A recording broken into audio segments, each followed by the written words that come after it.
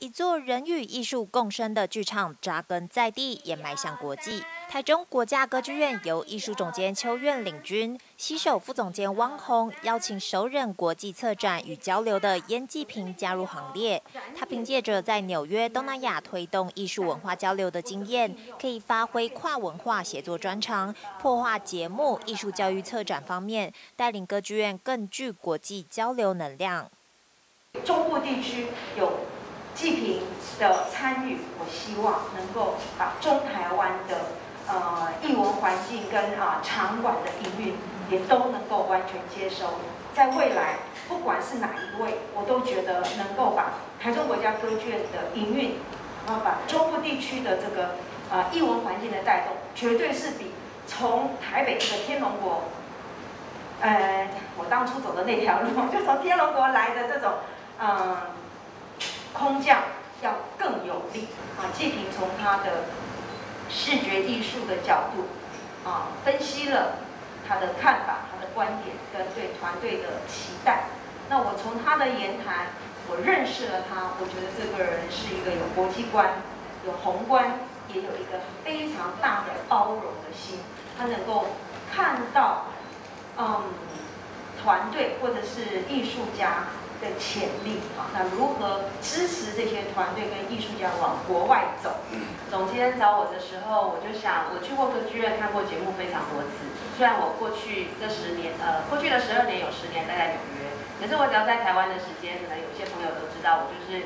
很大量的看节目，因为我必须要收集非常多台湾团队的制作和资讯。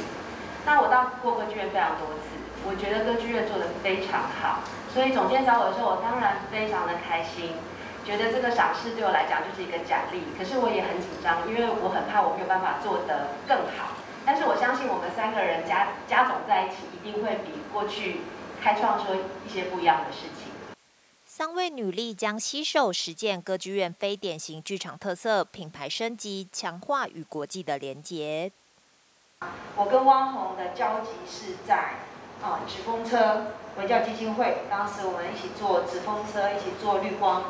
啊剧团，嗯，也是因为这样，我觉得汪红是一个嗯，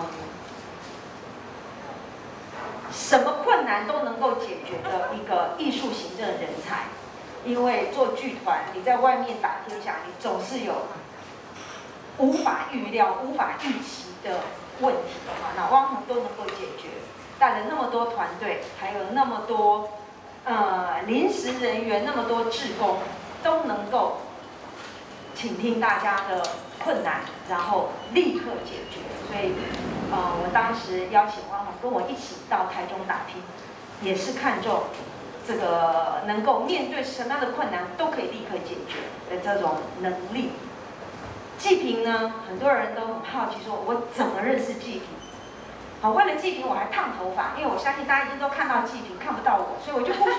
必须要烫个头发，让大家看到哦，秋元你换了发型了，好的，不要开玩笑。季平跟我的领域两个不太一样的板块，但是相同的是艺术，视觉艺术跟表演艺术。啊，季平被外派到纽约，开始嗯不怕困难的去接触表演艺术，把自己的。这个我常常讲说，survival skill，他有非常好的 survival skill，也可以经由他这种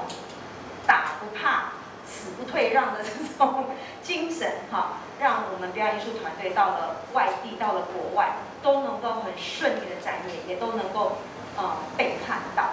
总监跟我谈到非典型剧场的时候，其实非常的触动我，因为刚好过去这些年在国外。有非常多不同的经验，接触到不同的场馆，不论是所谓的视觉艺术的博物馆的美术馆的，或者是表演艺术的剧场的艺术中心或艺术节。其实时至今日哦，就像我们已经不飞鸽传书了一样，就是很多的事情我们已经用非常现代化、非常当代的方法在处理。那艺术策展，包含表演艺术的策划，整个艺术节的构思构想，其实都是。其实我们已经。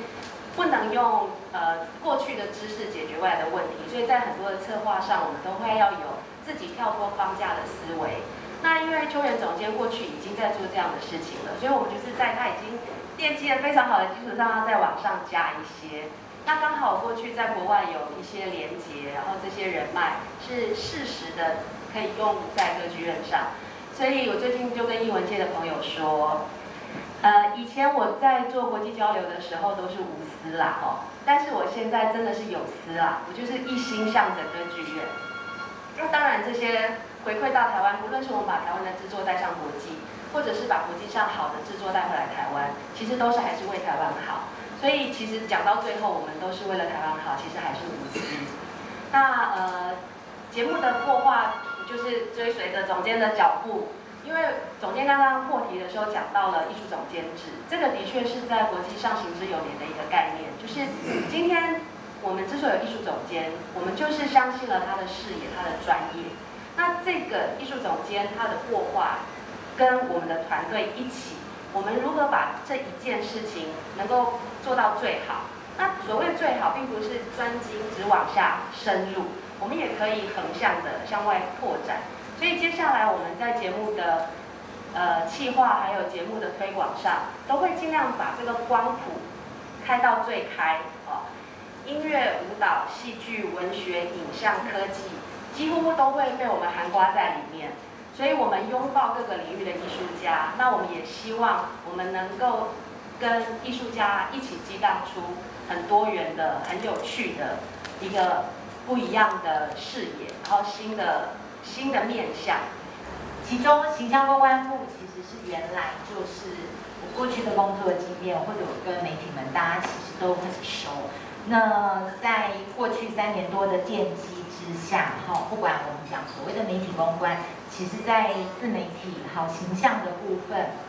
我相信，其实大家对歌剧院有一个不同的认识，好，就是除了我们剧场的精彩演出之外，我们非常多的活动，包括工作坊、包括讲座等等等等的，让大家对艺术的距离好像不是那么遥远，好，也让台中的民众愿意进到歌剧院。不是只有买门票才可以来到歌剧院。那我想说，在接下来的这个阶段，就跟总监刚刚前面所提到的，就是我们希望艺术跟生活那个连接，好，可以更不着痕迹。好，就是它本来就是艺术应该融入在生活里面。比如我们今天喝的一杯咖啡，好，或者我们在。木龙合唱团的这样子的一个空间，其实这就是我们生活的一部分。所以在呃，我另外负责的一块是顾客服务。那顾客服务当然有一块是我们讲观众的部分。我们也希望就是购票的观众进到歌剧院，在进剧场前，都是一个非常舒服的一个经验。好，包括第一线人员的部分。那在所谓我们刚刚讲的各个年龄层，好，各个年龄层。包括我们现在其实已经在规划我们今年圣诞节了，我自己也非常期待，因为它有呼应到我们的非典型空间。那去年我们在圣诞节，大家可能有看到我们自媒，就我们有一个夜诞老公公倒栽在我们的六楼红花的火山顶，相关的周边的活动，包括大家知道我们的住店的餐厅，好，其实这几年一直有很多不错的。餐厅他愿意加入歌剧院，也因为餐厅的特色，它会吸引不同年龄层的民众来到歌剧院，然后网红愿意打卡，网红打卡以后就会有年轻人来追。好，所以非常非常很多，就是因为我们会是所谓的希望，就是歌剧院不是大家想象中是一个。基本上很很难进入的一个场馆，它真的跟大家的生活有关系。哈，针对会员的部分，好，我们也希望能让会员的粘着度更高。那会员的部分不是只有购票折扣，那我可以规划什么周边的配套的，好，让他会觉得我有了这张会员卡，我会跟。哎，不不能举例讲其他的哈，就是我这张 NTT 的会员卡啊，它除了所谓的折扣之外，我有专门否会员的。像去年度我们办了非常多，包括张宁的身体工作坊，只有会员才能参加。好，所以会员会觉得说，哦，歌剧院其实把我当做是伙伴，好，会针对我，好针对的不同年龄层去特别设计。今年歌剧院更与魏武营推出双管齐唱歌剧套票，享八折优惠。周边住宿与高铁优惠皆已就绪，驻馆餐厅也规划歌剧主题菜单，期待串联全台湾乐迷随歌剧旅行，享受生活。记者温俊台北报道。